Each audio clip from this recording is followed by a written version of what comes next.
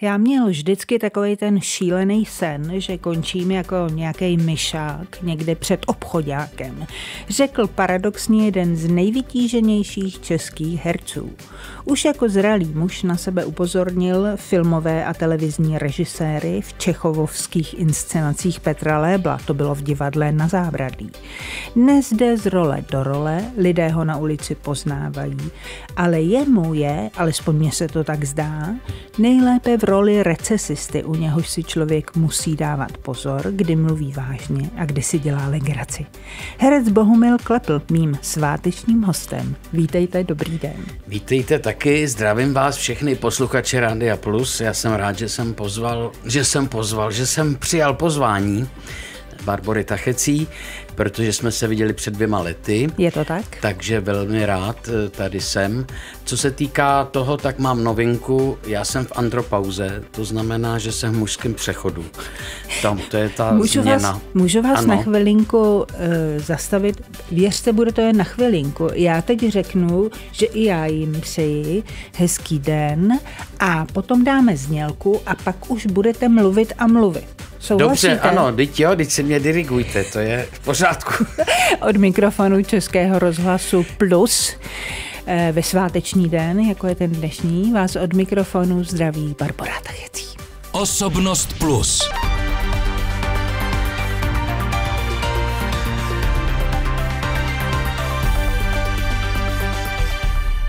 Chtěla jsem začít nějak znešeně, jak se na sváteční den sluší, ale vy jste začal s tou andropauzou? Andropauza, ano. A to co je, to obnáší? To je mužský přechod kolem šedesátky. Moc se neusmívejte, vy to ženy máte jinak, my muži taky. Často muži to nepřiznávají, neradi o tom mluví, ale Klepl o tom mluví rád. Takže jsem to rozjel i v divadle a zjišťuju u některých mužů, že se pak mě ptají na radu, co s tím. Tam, uh, je... Jak se to pozná nejdřív mi řekněte, že jste v té andropauze? Že s ženou začnete mluvit jako s člověkem. No, A že to... už přestáváte vnímat ženu jako objekt, něco jiného, ale už si ji vnímáte jako člověka. Čili ztratíte sexuální touhu? No, nestratíte úplně, ale Skoro. jde to eh, prakticky k nule. Ten testosteron je pryč, takže tohle je novinka, kterou já se teď zabývám a sleduju to, jak eh, vlastně ve veřejném životě, hledám to u lidí v politice, v kultuře a potká to každýho muže. A proč to hledáte u každého? Protože jsem teď v tom eh, období, tak... Takže chcete někoho, kdo má stejný, stejné pocity jako vy, tedy asexuální. Ano. A že začínám vnímat ženy strašně pozitivně, jako že a, a taky jste zaznamenal tedy, jak se za tu krátkou dobu mezi uh, vaší před touto pauzou a po této pauze, jak zmoudřely ty ženy, jak jsou najednou chytré? Ano, pochopil jsem to. Jsem křivdil někdy ženám ano. zbytečně. Teď ano. se jich vážím a jsem s něma schopen skutečně mluvit jako s lidma, což zní tak jako hodně ne, nesympaticky, ale já to myslím dobře. Protože vždycky, když jsem hovořil s ženou, tak tam ještě byl nějaký postranní úmysl. To má každý chlap v sobě.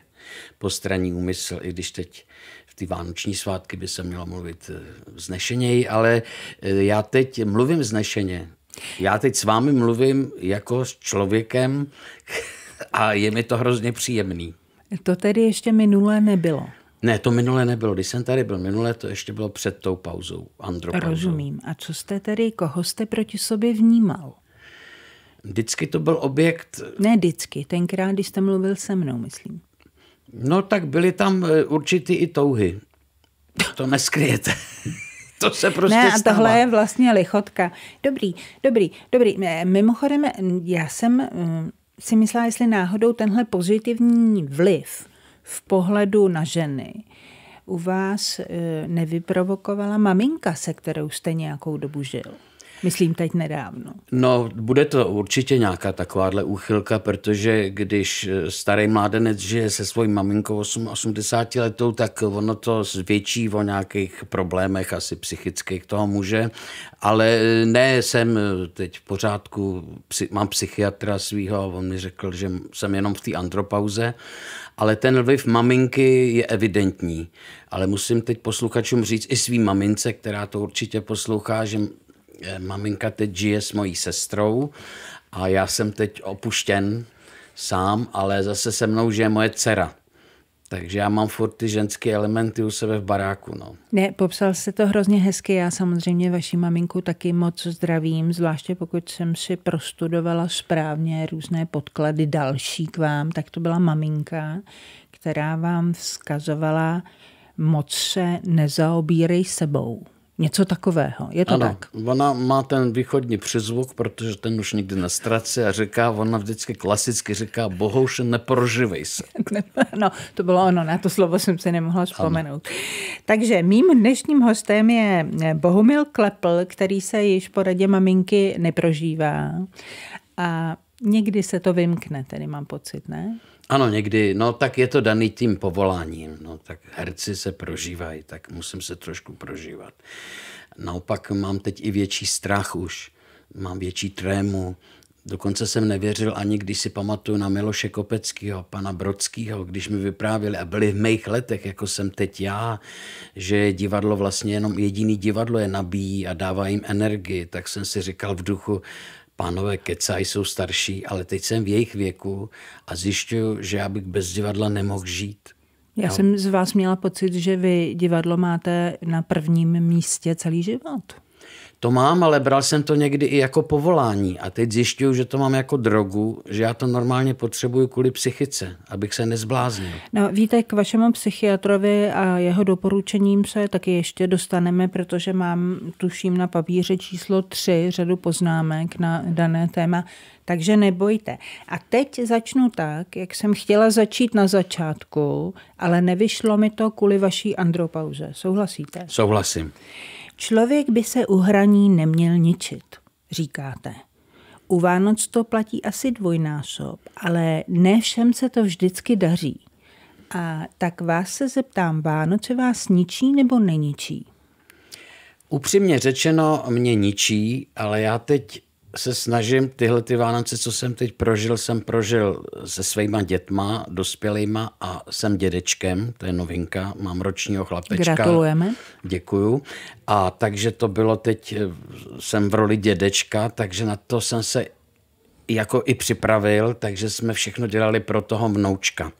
A tím pádem to dostává úplně nový rozměr. Mm, a já jsem dědeček což jsem se taky trošku vnitřně učil, být dědečkem, protože jsem si furt myslel, že jsem takový charakterní Don Juan nebo něco. A ne, já jsem dědeček už teď. No ne, ale některé herečky to v podobném postavení to přece řeší tak, že si nechávají o těch dětí říkat křestními jmény a ne babičko. Takže váš vnouček asi v roce ještě nic moc, ta komunikace, ale nechte ho, ať vám říká Bobe, jak jste zvyklí, a ne dědečku. Je to trochu ponižující. Ale já bych chtěl, aby mi zase říkal dědečku. Já bych se do té role rád vžil. Jako. Já zase nečekám mm, ten systém zapadajícího slunce u mužů je, to vy neznáte. E, když slunce zapadá u mužů, tak oni se začnou barvit vlasy a lovit ty mladé holky. A já jsem to přestal mít tohleto, takže já klidně zapadnu a klidně, ať mi ten Ralfík, on se vymýšlel dlouho jméno, teda děti, Ralf Bohumil, Klepl se jmenuje, tak já budu rád, když mě bude říkat dědečku. Budu Ale rád. To je krásné jméno, Ralf Bohumil Klepl. To je takové jméno, na které dědeček Bohumil Klepl může být hodně pišný. Je to tak? No to doufám, že jo. No. Já jsem trošku nesouhlasil s tím Ralf, protože on je takový drobonkej Ralfík, takový jemňonkej, tak to Ralf zní tak jako hodně... Mm, tak hrubě nebo co, ale tak mladí mě přesvědčili, že jsem zaostalý. No a tedy řekněte, když středobodem vašich Vánoc byl vnouček a ještě s dětmi jste ho eh, trávil, tak měl jste kolem toho vy eh, nějaké nervy, nebo prostě jste to bral lážo plážo, tak ať se ostatní snaží, navaří, napečou?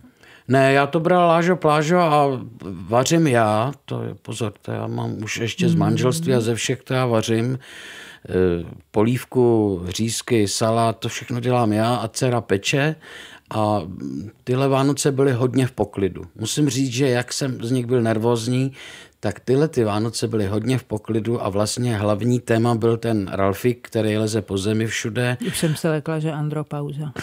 Ne, ne, ne, ne, ne. A ten Ralfik nám dělá radost a vyjadřuje tu rozkoš um, Vánoc. Řekla už jsem v úvodu, že si musí člověk u vás dávat pozor, kdy mluvíte vážně, kdy si děláte legraci. A teď by mě zajímalo, jestli vy sám to vůbec rozlišujete? Nebo už vám to všechno splývá v jedno? Ne, rozlišuju to, už to, už to vím. Vy sám a... to víte, kdy mluvíte vážně, když si děláte legraci. a dokonce bych chtěl teď v té poslední fázi života hrát i vážný divadlo. Já jsem dokonce teď hraju i ve vážné hře. Lidi jsou z toho takový nějaký eh, rozpačitý, když vidějí Klepla hrát v tom studiu 2 ve vážné hře, tak to ne, tomu ne, trošku nerozumějí ale no. já teď se k tomu blížím. Ale vždyť, když jste hrál uh, na zábradlí. na zábradlí, tak to byly samé vážné role. No, ale to je 30 let tomu nazad, že? Neříkejte. No, to je 30 let, takže teď už jsem jenom takový ten šáša, co baví lidi furt.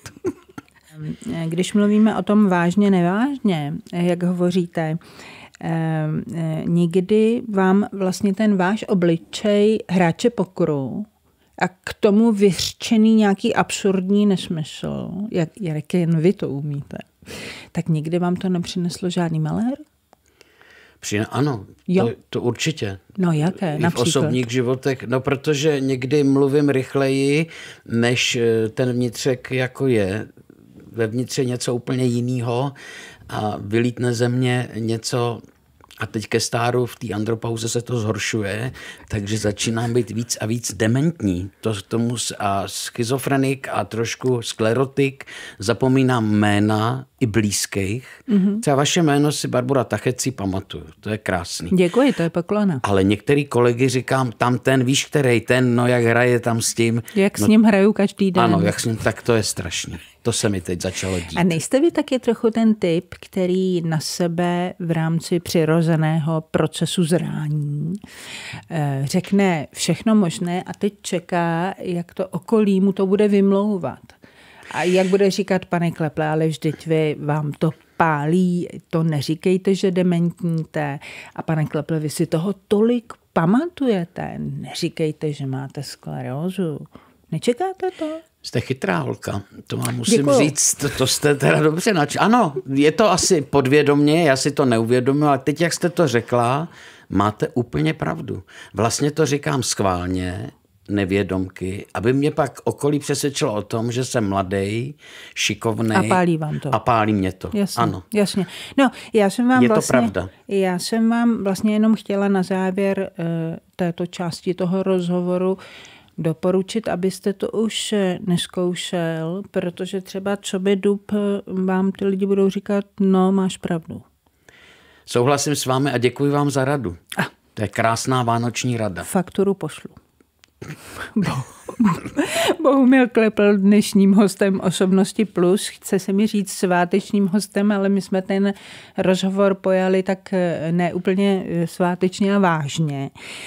Když jste zmínil toho psychiatra, tak já už jsem našla ten citát, který vám řekl, vy jste hypersenzitivní, což je problém pro život, ale je to zase dobrý pro divadlo a film tak jasně, to chápeme všichni, proč je to dobré pro divadlo a film, ale ptám se, eh, v čem je to problém pro život, eh, být hypersenzitivní? Pro život je hypersenzitivita, eh, že ve všem vidíte hned problém. I přijít sem do rádia, i přejít ulici, i vylíst na jeviště. Ve všem najednou je problém a vy to začnete prožívat. Teď máte strach, abyste ty diváky uspokojil, abyste byl dobrý pak když prožíváte na jevišti nějaký citový vztah, tak ho dáváte opravdu a tím se zabíjíte, ničíte se. Tímhle způsobem jste věci, včetně divadla, prožíval i když jste byl mladší?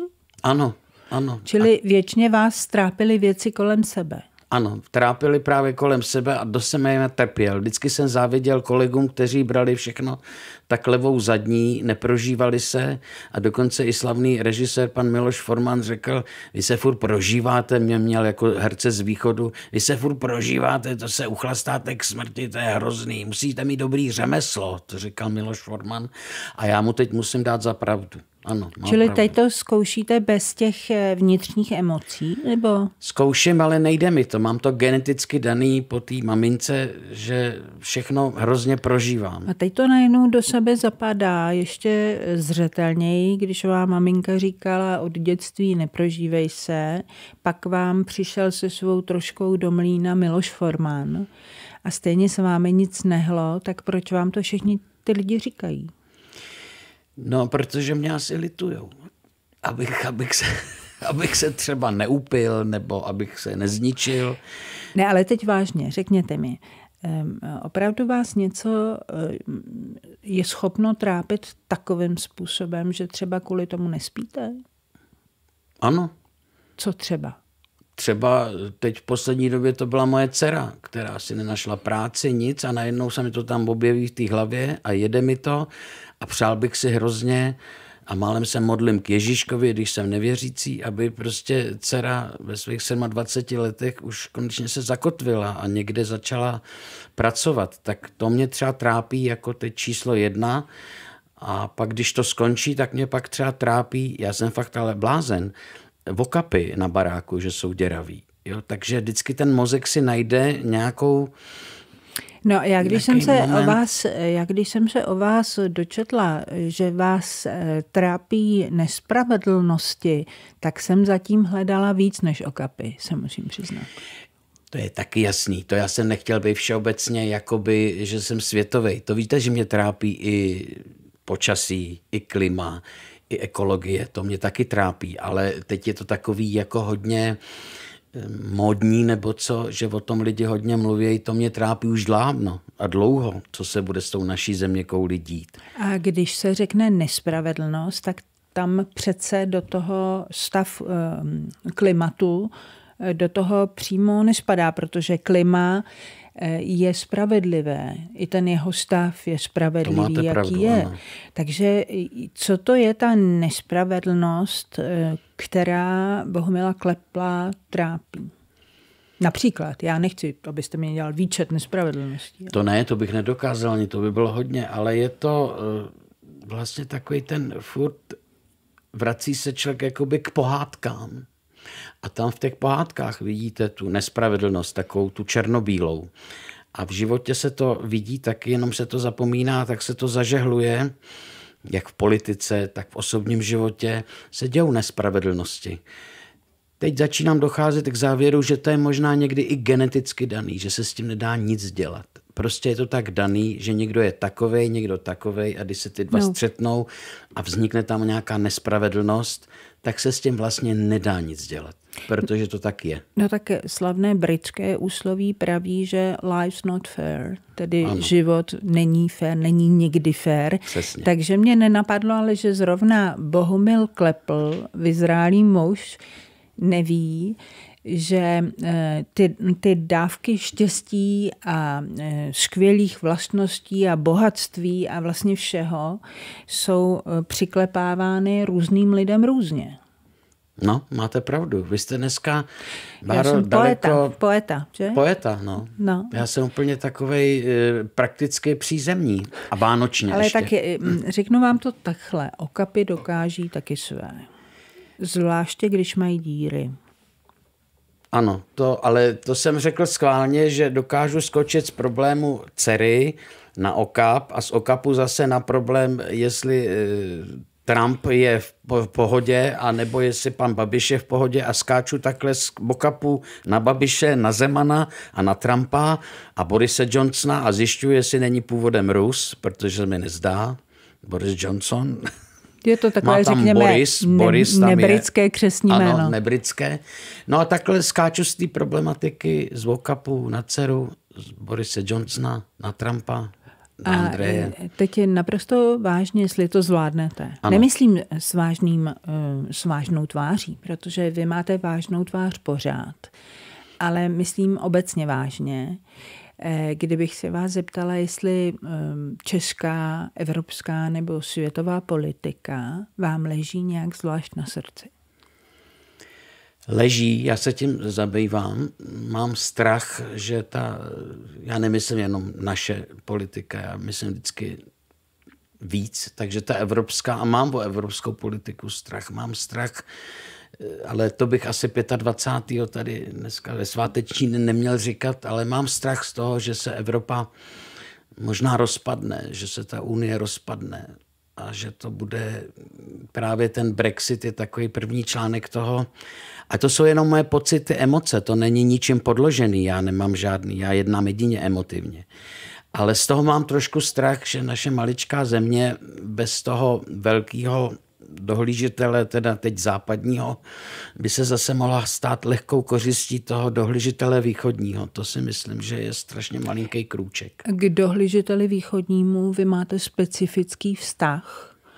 K tomu se ještě samozřejmě dostaneme eh, po zprávách, ale vy emotivně cítíte, a já jenom připomenu, že jste v Moskvě prožil dětství, eh, emotivně cítíte, že to Rusko by doopravdy eh, mohlo být pro nás rizikové, a nebo je to jenom takový strašák, který se hodí?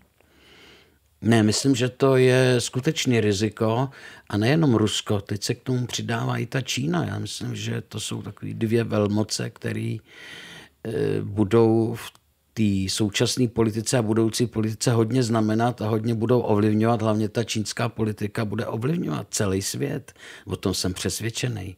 Protože kde jsou teď američani, kde jsou teď číňani, jako to je na další diskuzi, ale mám z toho obavy a myslím, že to není jenom takový plácání do větru, že to je vážná nicméně hrozba. Eh, Číně ale historicky eh, nešlo o to získávat další impéria, na, na rozdíl od Ruska, ale Čína vždycky hledala cestu k biznisu, který by byl super výhodný samozřejmě pro ně, takže někdy to nebyl ani biznis.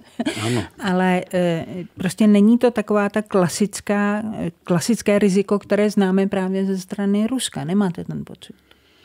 To ne, takovýhle pocit nemám. To já myslím, že svět je jinde už, jinak. To nepůjde všechno tak jako 21. srpna 68. Já myslím, že už takhle, takovéhle věci se nebudou Máte dít. Bude se to dít jinak. kyberútoky? Mám na mysli kyberútoky a vůbec systém technologií. A, no, je to vlastně kyberútok. Mm, ano, mm. z tohohle a z těch sociálních sítí. Protože to je mor nevím, jak na tom jste vy, ale vidím kolem sebe mladí a děti a i kolegy, jak jsou na těch sociálních sítích, jak tam dávají svoje názory, příspěvky. A já jsem jenom tajným pozorovatelem. Já jsem prakticky takový novodobý estebák, to řeknu jenom v uvozovkách, že sleduju svoje děti a svý kolegy, hmm. co tam plodějí a občas sleduju i politiky, co tam plodějí. Hmm. A je mi z toho zle, no, to... protože Donald Trump ukázal všem politikům světa, že ano. přes Twitter se toho dá poměrně dost zvládnout. Tak eh, možná Přesně tam tak. je ta inspirace. Ano, přesně tak. Neplánovaně vážně jsme mluvili eh, s Bohumilem Kleplem eh, v tuto chvíli, ale v žádném případě to nemáme v plánu v příští půl hodině. Takže v tuto chvíli zprávy a pak Bohumil Klepl kapitola číslo dvě, nepříliš smutná, řekněme. Ano, souhlasím. Tak jak se daleko s tou prací na získání velvyslaneckého postu v té Arménii? To se v prvé řadě musím zeptat. Tak eh, na ten post velvyslance v Jerevanu se furt těším. Začal jsem chodit na arménštinu, učit se, abych mluvil i arménsky. Myslím že, si, že současný prezident, pan Miloš Zeman, mi to nedá. To o tom jsem přesvědčený. Ale až budou další prezidenti, tak třeba jim ty arménští prezidenti vysvětlí, že Klepl by byl vhodný. Ano, no ano. a šel bych do toho, jenom jsem byl upozorněný, Ale... že je tam nebezpečí vlivu těch oligarchů, arménských a všelijakých těle těch na mě a že já jsem takovej ten kecka a všechno slibuju, že bych to neustál. Ale já si myslím, že v tomhle věku bych to ustál. No ne, já si myslím, že kdybyste si sebou vzal Holubovou, takže ta by byla výborná proti oligarchům. Evička Holubová, kdybych si ji vzal sebou, tak by nás postřelili hned na cestě. To mi je jasný. Ne, ale eh, vy si, teď si děláte samozřejmě no, trošku jasně. z nás šuvky, ale uh, vy ten vztah k Arménii logicky máte, protože maminka byla Arménkou, která žila v Gruzii. Teď ano, jsem to řekla správně. Teď jste čili, to řekla úplně přesně. Čili já to střídám a říkám Gruzínka, Arménka. Ale co si myslíte, že jste po mamince mm, genově jako zdědil? Genově jsem zdědil tu hypersenzitivitu, tu ukecanost, to, že mluvím rychleji, než myslím a pak ten, eh, jestli se dá říct, herecký talent, nebo ten talent eh, se exibovat, mm-hmm. protože kdo nezná moji maminku, tak ne, nic neznamená tady u nás v Česku, protože jí hodně řada lidí a herců jí zná a všichni říkají, že to je opravdu, že kam se hrabe klepl, že kdyby byla maminka herečka, tak já jsem dávno někde zastrčený, protože máma je opravdu jako zásobárna energie, její 88 hereckýho to hraje na klavír a ještě vám bude tančit Labutí jezero, ale to jej zakazuju už. Jo. To... Poslyšte, takovýhle lidé mm, asi za uh, Stalinova uh, období to neměli úplně doma na růžích ustláno. Eh, s její rodinou pravděpodobně zatočil Stalin rychle, ne? No teď maminka právě říká strašně zajímavé věci, teď ve stáru se jí vybavují nový a nový věci, že třeba dokonce taková nová historka, pro mě úplně nová, že když přijeli a v Tbilisi, v Gruzii dělali čístky, tak brali barák po baráku a nakládali rodiny celý a už je nikdy neviděli. A u jejich rodiny najednou máma říkala, že už mají plný valník, že se nevejdou. A tím se zachránili. Oni se nevešli na valník. Máma s babičkou a tohle nevešli se na valník a tím pádem přežili. A tam to Stalin likvidoval někde dál, prostě to rozstřílel a ty lidi všichni zemřeli. Že? Tak máma teď vyšla znovu, jak v tom stáří ty běhají ty nové historky, tak ta historka, že je vlastně zachránilo to, že nákladák byl plný. Ale její tatínek nepřežil, že? Tatínek ne, tatínek ne, tatínek Ogančaňan ten někde skončil a pak i ten druhý manžel. Ale eh, pardon, jenom říkám si, eh, jestliže naopak váš tatínek udělal velkou kariéru eh, v komunistické straně, ano. tak jak se asi po téhle linii dohodl s maminkou, která díky tomu, čemu se říkalo komunismus, přišla eh, vlastně o otce a celá rodina z toho má samozřejmě traumata do konce života.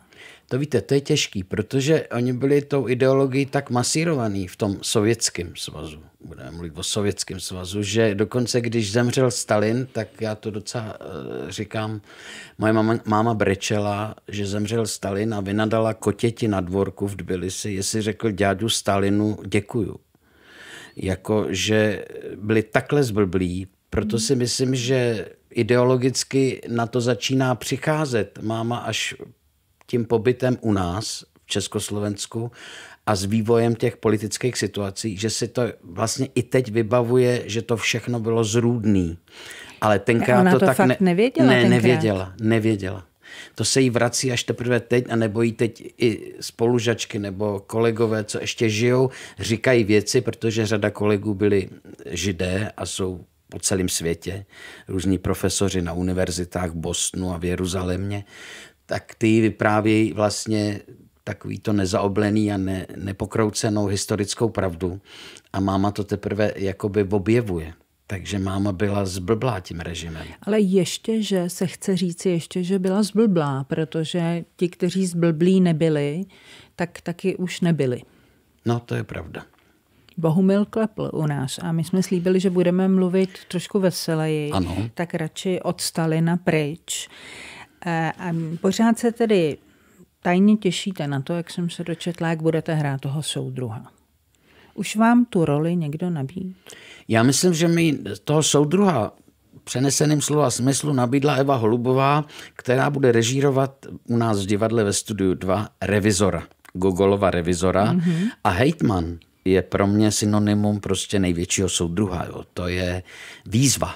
A já jsem vždycky hrál, nebo dvakrát jsem hrál Chlestakova a teď poprvé už věkově i v Izraele si zahraju s chutí hejtmana a budu ho hrát jako velkého soudruha. Tak to mám vymyšlené. Já vím, že jste si jednu dobu totiž docela stýskal, že eh, nové filmy, to se samozřejmě těžko týká Čechova, ale že nové filmy vlastně se nedívají objektivně na tu naší soudružskou epochu, protože buď z toho dělají hyhňandu ano. Eh, komediální, a nebo z toho dělají totální peklo, ale něco, co by bylo mezi a co by reálně odráželo ten život eh, v socialismu, tak to vlastně filmově nevzniklo. Už to vzniklo? Protože tohle jste řekl někdy, co je to, deset let? No, nevím, neumím to snad ten seriál takovej nostalgický, myslím, se trošku blíží a to je ten seriál Vyprávěj, kde se tak jako objevují takový ty, no ne, já netvrdím, že to je veledílo, ale jsou tam takový momenty, kdy i já si vzpomenu 70. leta a tohle a takhle bylo ale jakoby reálný pohled jsem ještě neviděl. Ještě ne, nevznikl ten film. Ještě není takovýhle film. Čím si myslíte, že to je? Protože je to eh, tematicky taková studnice neuvěřitelná možných námětů z té doby.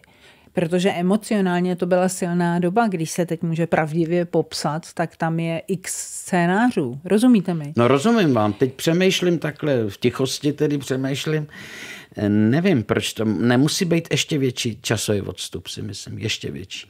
Mimochodem běžely eh, eh, seriály, které byly kritikou eh, hodně chváleny, jako byl třeba na HBO Bezvědomí, nebo byl ten Redl, na české televizi, ale když jsem je chtěla vyzdvihnout, tak jsem si právě uvědomila, že to jsou filmy z doby těsně po revoluční. Ano. A nemůžeme je tudíž zařadit za ty filmy, které popisují dobu před listopadem 89. Vy, kdybyste v nějakém takovém filmu z té doby chtěl hrát a byla by vám ta role nabídnutá, jo, tak eh, co byste u toho filmu posuzoval, než byste řekl, tak jo, já jdu do toho? No, tak posuzoval bych ten scénář, který by byl napsaný a nesměla by to být jenom chichacha, ale musela by tam být nějaká, musí tam být kapka i ty nostalgie. To právě oponenti toho režimu nemají tak zase rádi, ale ta kapka nostalgie zase pro tu určitou generaci tam je důležitá. Je tam, musí tam být. Že jak ty, tyhle, tyhle lidi si mohli krást a tohle, tak pro ně to bylo takový štěstí, taková pohoda, takový to, to čecháčství, takový to ponadávat si u piva a tohle, to, takový, ale e, někdo to musí dobře napsat. Já myslím, že to umí ten Jarchovský, ten pan Jarchovský umí dobře psát ty scénáře ale ještě nevzniklo, tak jasně pelíšky a tohle to je, je to klasika, to já miluju taky. Ale má to tam ten úsměv, že je to tam jednodušení. Kdybychom to vzali tragicky, tak je to velmi vážný dílo. Tam jedině naznačoval pan Kodet tou postavou, že tam hmm. se něco děje trošku víc. I na tu vlastně Vašáriovou, na tu jeho ženu. Tam jsem cítil takový najednou přibližovací moment té doby, že tam mohly být hmm. ještě silnější momenty. Ale takovýhle film, jestli se pak třeba my se sedneme pár lidí a zkusíme napsat něco my, já tvrdím, že bychom i díky mý mámě z toho bývalého sovětského svazu měli něco načerpat a teď mě oslovila nějaká redakce, že by se mnou chtěla napsat knihu. A já říkám, prosím vás, o čem knihu? Jako narodil se v Moskvě, hrál na zábradlí, je teď ve studiu 2, to není zajímavý. Já vám poradím, zkuste atakovat moji maminku, musíte na to mít nervy, poseďte s ní, pište si ty zápisy a pak vytvořte knihu. A to bude síla, ne nějaký klepl. Ale tam to budete mít od Stalina až po klepla. Říká Klepl Bohumil, který je dnešním hostem, eh, svátečním hostem sváteční osobnosti plus. Připomínám, 25. Eh, prosince je stále svátek vánoční, tak pojďme ještě do nějakého alespoň trochu úsměvu. Ehm, když eh, vy jste se eh, totálně proslavil, tak to určitě neudělalo ze vás to divadlo, kde jste se sice cítil skvěle a lidi vás milovali, ale ta skutečná sláva přišla s televizními seriály. Proč člověk, který tak eh, relativně hluboce o věcech přemýšlí, je tak senzitivní, jako jste vy, jak řekl váš psychiatr, proč hraje v takových seriálech? To je, eh, to jsem se sám sebe zklamal, sám sebe jsem zradil, protože jsem byl opravdu, najednou měl jsem pocit, že moje velké herectví na zábradlí nikam nevede, nikdo to neocenuje a vrhnul jsem se na tu šílenou seriálovou tvorbu. Natočil jsem asi 20 seriálů, je to něco strašného. Občas se vidím, když to opakujou na jakýkoliv televizi. To nemá s herectvím nic, ale vůbec nic společného. Někdy se za to stydím ale prostě jsem najednou podlehl takový tomu měšťáckému momentu, že potřebuji, aby, abych byl jako víc slavný. slavnej. Ale teď, jak jsem, zase se vracím k andropauze mužský, tak jak se teď tohle jsem víc a víc jako starší, tak mě to už přešlo úplně a ta ambice se proslavovat a být jako slavnej už ji nemám.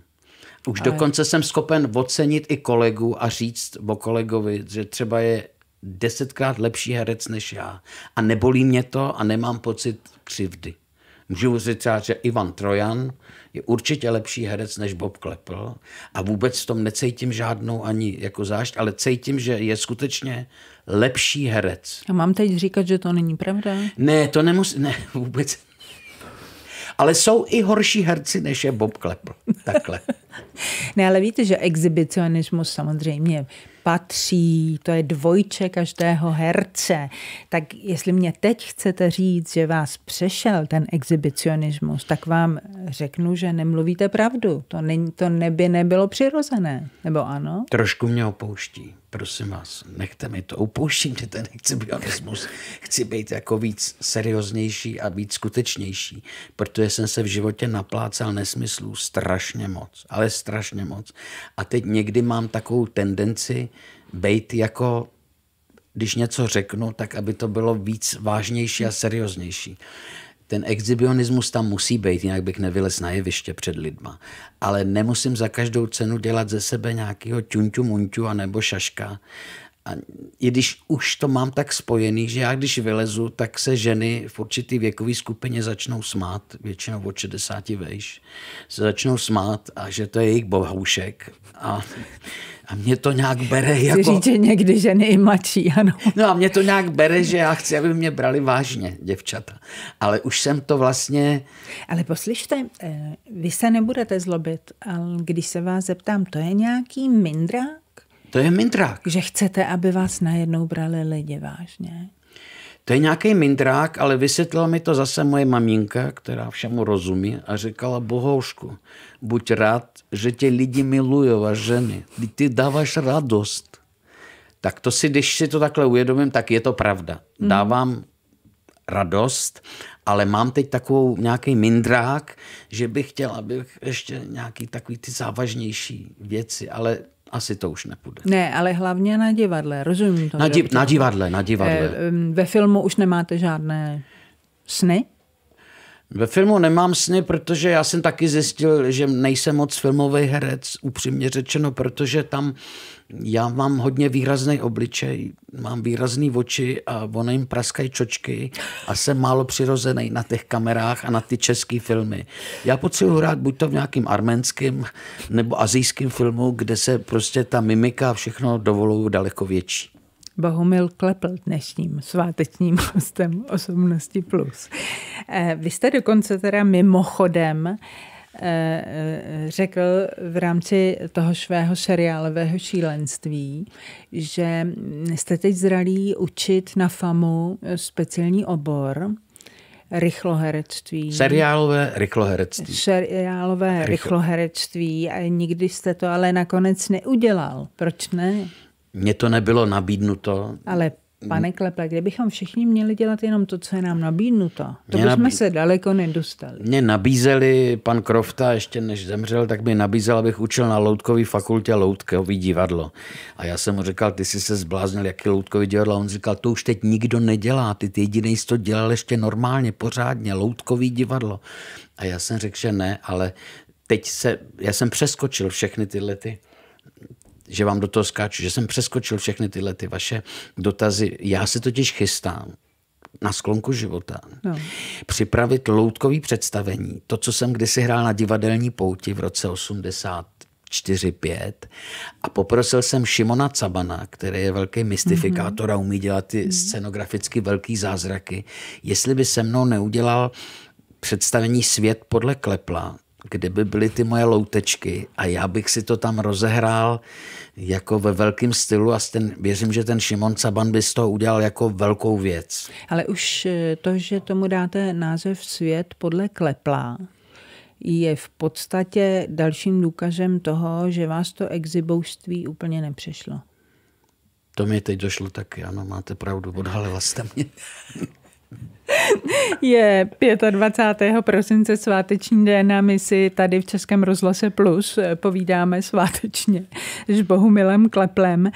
Ehm, Mně to nedá stejně eh, s těmi eh, seriály. Chápu, že jste najednou prozřel, zjistil jste, že to úplně není ehm, řekněme, záležitost vaší duše. A nemám hypotéku. Tak, no. tak. A to, to se pak, ano, to se pak vesele žije. Ale když vidíte, Eh, mnohdy české nadané herce, jak se mladé, jak se utápějí v těch seriálech, takových těch, co nevíme přesně, jestli skončí za rok, za pět let nebo za deset let.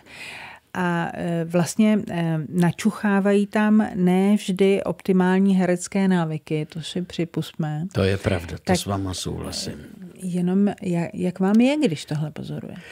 Je to vždycky divně a s úsp- takým úsměvem škodolibým, protože vždycky jsem ty mladý herce, nebo většinu z nich slyšel, když mě odsuzovali a říkali, Bobe, ty děláš takový hře a v takovémhle seriálu, jak to můžeš dělat ty herec čechovských těch. A, a teď najednou vlastně vidím, to je taky novum, ty začínající herce, co byli ještě na začátku, tak už jsou teď slavní, hmm. hrajou v těch seriálech, já už jsem vlastně na sklonku a oni jsou slavní a najednou točí tyhle ty šílený seriály, ale je to asi daný dobou. Já se, já se na ně nezlobím. Oni se na mě zlobili, že jsem to dělal. Já se na ně nezlobím, protože nevím. A nemusí si tím každý projít vlastně?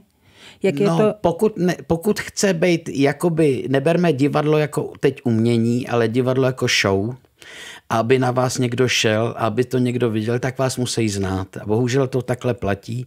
Čím víc jste viděný, tím víc na vás jdou a pak nejde o kvalitu, ale jde o to, že jste známej ksicht. Ale zase rychle zapadnete.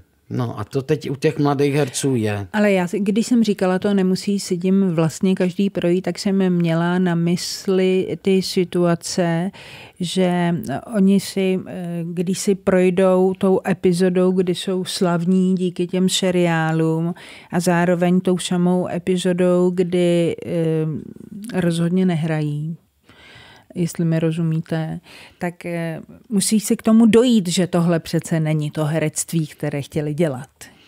To já nevím, jak to mají oni. Já to teď už vím, že tohle jsem dělat nechtěl, ale jak to mají ti mladí herci, to vám neřeknu. Ale když se mezi nimi občas pohybuju, tak mám pocit, že jsou, teď dostanu od nich na sociálních sítích z pršku, že jsou povrchní hrozně povrchní a že nečuchli k pořádnému divadlu, jako aniž já bych čuchl k pořádnému divadlu, když poslouchal jsem pana Lukavského nebo pana Hrušinského. Mm. Že ta generace od generace se vzdaluje jako tomu eh, té profesi daleko rychlejc než to bylo. Eh, vy mimochodem eh, jste kdysi poznamenal, že úplně nerozumíte těk takovým těm moderním trendovým divadlům. Eh, které eh, postupně, stejně jako v celé Evropě, mimochodem i v Americe, eh, přicházejí. Pořád vás to nebere? Nebere, snažím se to pochopit, nebere. Já si furt myslím, že základ je prostě talent, který je daný od Boha, nebo já nevím od koho, když ho má někdo, a to vyzařování toho fluida na tom jevišti. A je mi pak jedno, co hraje, ale ten člověk, když má talent a vyleze na tom jevišti a něco z něho jde, tak je to zázrak, na který my jako diváci se díváme a něco nám to dává. Když to tam není, tak je to úplně zbytečný. A pak jsou existují Ale to platí ty... pro jakékoliv druhy a typy divadla. Ano, ano. a pak se to dá vynahradit eh, pračkou a na pračce prožíváme Shakespearea nebo Hamleta z Labutí, nebo já nevím, já jsem v takových divadlech taky byl a taky jsem působil, že jsem dělal všelijaký avantgardy. Asi to patří k určitému vývoji. No. no, právě jsem chtěla říct, že ale když se vyvíjí úplně všechno, proč by divadlo mělo stát na místě? To znamená někam bez pochyby jde a tady jde jenom o to, jestli je to váš šálek eh, čaje nebo není. Takže zatím není. Není a asi už to nestihnu. Ale mimochodem, ten termín dokud divadlo, kdy divadlo stvárňuje eh, faktické události, eh, které se staly, to se vám líbí? To je teď takový novum, myslím, že to působí na diváky, že to je autentický, protože ty herce neznají, já je dokonce znám a vím, z kterého se divadla oblastního většinou, to bývají oblastní neznámí herci, takže mají šanci taky najednou se projevit. Že mě máma řekne, Ježíš Maria, to je chudák. A já říkám, to je schebu jeden herec, tam hraje tohleto. Ale diváci to nevědí, takže ta autenticita a ten dokument je podvod. Takže nevím, nelíbí se mi to. Je to podvod. A nebo by musel být dramaturgicky dobře upravený a vytvořený. Já vám mluvím o těch komerčních televizích, kde dělají ty soudkyně všelijaký a tohle. To ne, jsou... jasně, já jsem teď ale měla na mysli třeba, jak se e, při příležitosti 30. výročí listopadu dělali mladí tvůrci nadaní z Vostopětky v Národním divadle, ty říkali tomu sametová simulace nebo sametové simulace a e, tam třeba jenom na bázi e, deníkových záznamů tehdejšího tajemníka Václava Havla, Vladimíra Hanzla, tak údajně udělali, já jsem to bohužel neviděla, ale že to bylo údajně strhující. A tak to já jsem taky to neviděl. Bohumil klepl, nemohu ho tím pádem tlačit k vyjádření k této hře, když ji neviděl. neviděl. Bohumil klepl u nás ve studiu. Vy jste, eh, když máte volno, tak sledujete rád filmy? Je to něco, co sledujete rád? Už ani to ne. Já už sleduji jenom, mám to zakázaný, ale já sleduji jenom politiku. Prostě dostávám se do toho dětkovského momentu a u té televize já vás asi zklamu, díváte se na mě tak smutně, ale já si sednu k 24, vypnu si zvuk, to mám zásadní, dabuju ty politiky sám jako a dívám se na ně a rozčiluju se jako normálně úplně trapný dědek u české televize. Ale, ale řekněte mi, který zahraniční lídr vás v posledním roce opravdu rozčílil? Já myslím, že mě rozčil ten Boris Johnson. Boris Johnson, protože má ještě navíc ruský jméno, tak to zase pozor, to ještě možná nevědí všichni. Já si to jenom myslím, že má někde nějaký ruský předky. Ne, počkejte, vy říkáte Boris Johnson a uh, Corbyn, ten, ten mě zapadá, protože jednám emotivně. Já neumím posoudit politicky, kdo je v pořádku, ale Corbyn je takovej, mně připadá, že má ten takový anglický nějaký ten... Antisemitismus? To, to, jsem, to já, to víte vy asi víc, to nevím, to jestli má, tak mě to, to jste mě neměla říkat. No, ale Takže tak to odpadá, je. no On tak je... nic, tak pryč s ním. Ale myslel jsem, že je víc anglický než Boris Johnson. Boris Johnson je můj kolega, jakoby, jo, z divadla. Takový je s pejskem, se ženou, se všema a umí to. No, no uh, údajně má velké charisma, má velké a kvalitní vzdělání samozřejmě a je velmi chytrý. Takže jestli vám připadá jako vy, tak je to dobrý marketing. Než jde před kameru, tak si rozčuchá vlasy. Aha, to jsem nevěděl, víte, víte, víte víc toho než... No, Takové roz... drobnosti. A nakonec teď tedy vyhrál britské no, vyhrál, ano. volby, takže něco na tom klukovi musí být, vidíte. No něco na tom klukovi musí být. Já jsem v Anglii byl párkrát a vždycky, když my mluvíme o Londýnu nebo o těch velkých městech, ale my zapomínáme, že Anglie nebo Velká Británie jsou i vesnice a malé dědiny a tam jsou ty lidi teda úplně jiný. To není Boris Johnson nebo ten Londýn kosmopolitní. Tam jsou ty Angláni teda takový jako hodně zatvrzelí. A ty mají úplně jiný vztah eh, k tomu světu a tohle. To jsem měl možnost taky poznat a čuměl jsem teda jak vejr. Na ty anglány vesnický, ale to je neponižuji, jenom říkám, že to je jiný uvažování tak než to, Londýn. Jasně, ale tak to platí i pro české vesnice a Prahu a tak dále. No to... ale česká vesnice je na tom daleko líp než třeba americká vesnice. Americké vesnice jsou opravdu jako to je úroveň dolů, když to česká vesnice, tam každý jarda rozumí všemu. Tak dobře, pane Bohumile Kleple, když je toho 25. prosince za pár dní se bude lámat rok, a tak se musím vás zeptat jenom, jestli někdy se věnujete sci-fi úvahám, kdybyste mohl si splnit eh, jednu jedinou věc eh, v příštím roce, co byste si změnil? Změnil bych, rád bych se změnil celý. Abych nebyl hypersenzitivní, abych byl víc dědečkem, abych měl mír a klid v duši. A to bych přál i posluchačům a všem lidem na celý země kouli. Klid a mír v duši a nejednat vždycky emotivně, ale někdy i trošku rozumově zapnout mozek a přemýšlet, protože jsme všichni na tom stejně. Říká Bohumil Klepl, který byl dnešním svátečním hostem osobnosti, plus jsem za to vděčná, děkuji vám a pozdravuji maminku, protože myslím, že to dílo se vlastně docela povedlo. Tak děkujeme. A od mikrofonu Českého rozhlasu Plus zdraví a hezké svátky samozřejmě přeje Barbara Tachecí.